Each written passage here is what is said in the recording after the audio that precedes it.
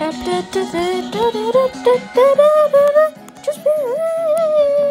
finished my recoloring.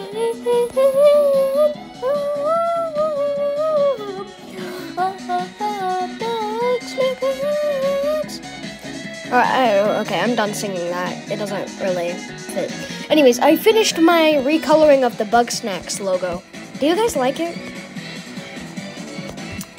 Um, yeah. I also added shadows to these.